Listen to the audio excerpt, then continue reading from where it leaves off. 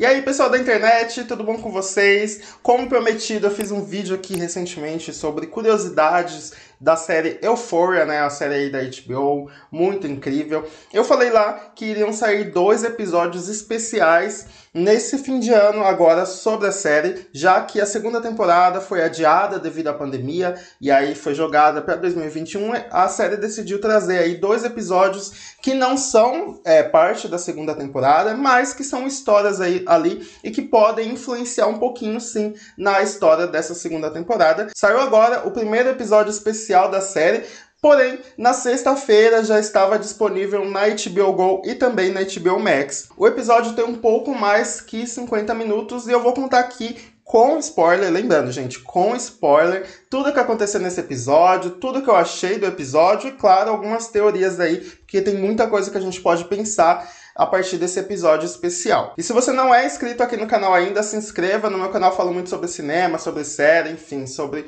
conteúdo aí de streaming. Então, se você gosta desse conteúdo, eu tenho certeza que você vai curtir o meu canal. Também aproveita e me segue lá nas redes sociais, principalmente no Instagram, falo muito sobre cinema lá também. Então vamos lá, começa o episódio da forma mais fofa e linda possível, que é o casal Rules, né? O casal aí da Jules com a Rule. E elas estão lindas lindas, maravilhosas. A Rule completamente apaixonada pela Jules e as duas lá no maior love e tal. Até que a Jules precisa sair, né? Porque ela tem uma apresentação muito interessante, muito importante para ela, e aí ela precisa sair e a Rule fica em casa sozinha e aí ela começa a se drogar. E aí que percebemos que na verdade tudo isso é fruto da imaginação dela e que na verdade ela está dentro de um banheiro de uma lanchonete também usando droga. Foi muito triste ver que isso não aconteceu de verdade. Ai, sério, tudo que eu queria era esse casal maravilhoso junto. E aí a partir dali todo o episódio se passa dentro dessa lanchonete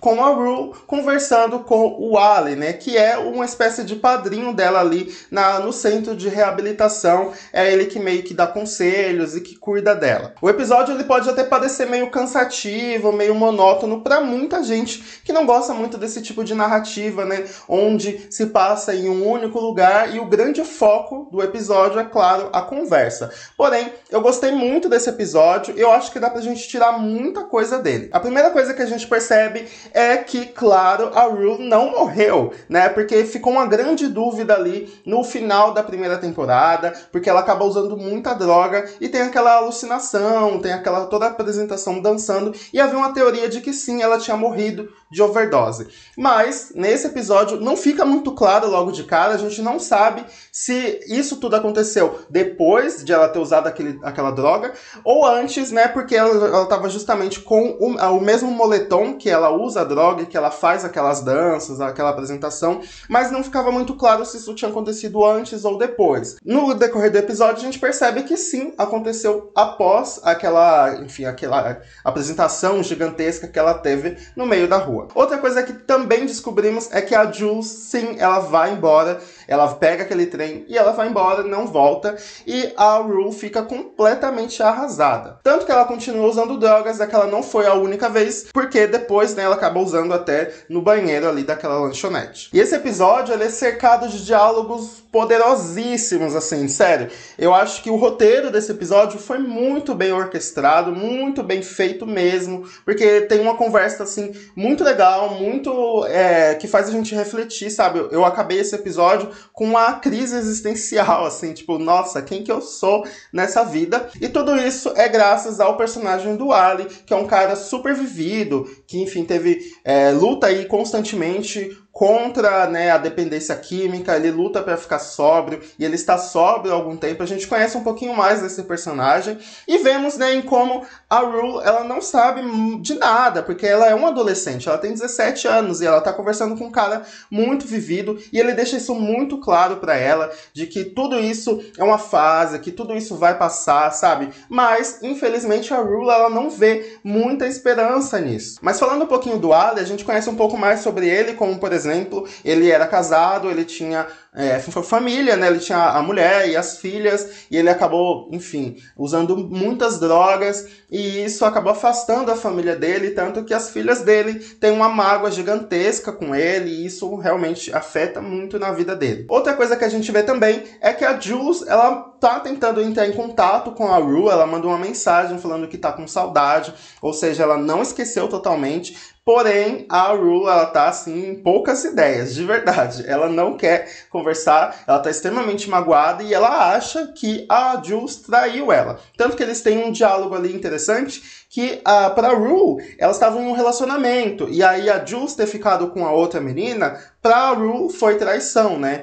E não é bem assim, porque elas não estavam em um relacionamento de fato. E tudo isso faz com que a Rue fique muito depressiva e não enxergue a luz no fim do túnel. Tanto que ela fala pro Ali que ela não é, quer ficar sóbria, ela quer ficar drogada mesmo, porque é mais fácil encarar o mundo dessa forma. E tudo isso foi muito triste, de verdade. A Rue é uma das personagens mais incríveis da série, sabe? E eu torço muito para que ela fique bem, mas é muito difícil ver ela nessa situação. Ela, inclusive, acha que tudo isso que tá acontecendo com ela, ela merece, pelo fato do, de, do que ela fez com a mãe dela, né? De ter usado muita droga, de ter batido na mãe dela, de ter, é, ter ameaçado a mãe dela de morte. Então ela se culpa muito por isso. E aí o trabalho do personagem Ali é fazer com que ela veja o contrário, com que ela não se sinta dessa forma. Na verdade, assim, ele dá as cartas para ela, ele dá a real, mas fazendo com que ela tente enxergar esse futuro, né, que enfim,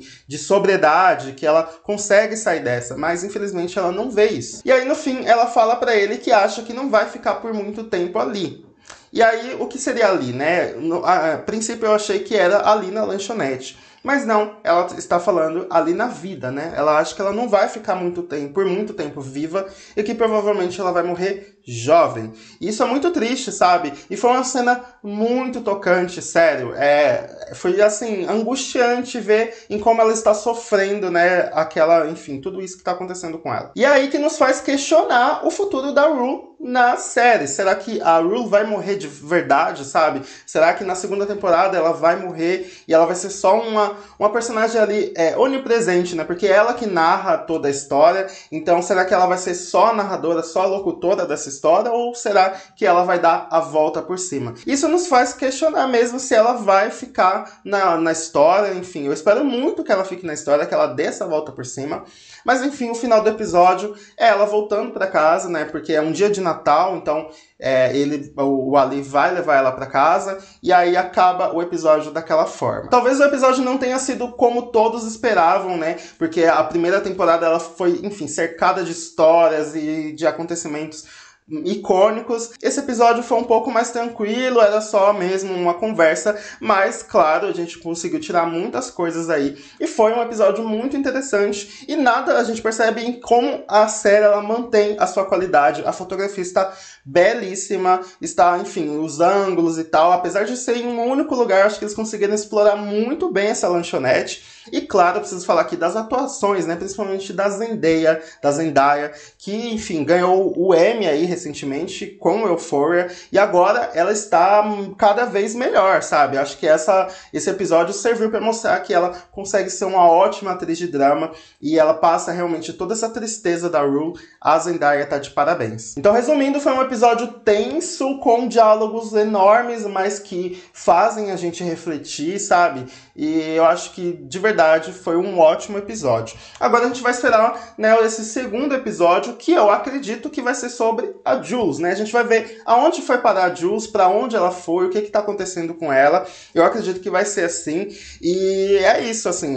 Eu acho que esses dois episódios, claro que não influenciam diretamente, mas a gente pode tirar sim muitas coisas sobre ele. Agora eu quero saber de vocês, vocês que já assistiram esse episódio, comentem embaixo, fala tudo o que vocês acham, quais são as teorias de vocês, vamos conversar aqui nos comentários. Se você gostou desse vídeo, deixa o like que vai me ajudar muito. Também compartilha para geral aí que gosta desse conteúdo. Lembrando que no, na próxima semana vai ter vídeo aqui no canal sim sobre esse segundo episódio. Ativa o sininho para você não perder nada. Também se inscreva se não for inscrito.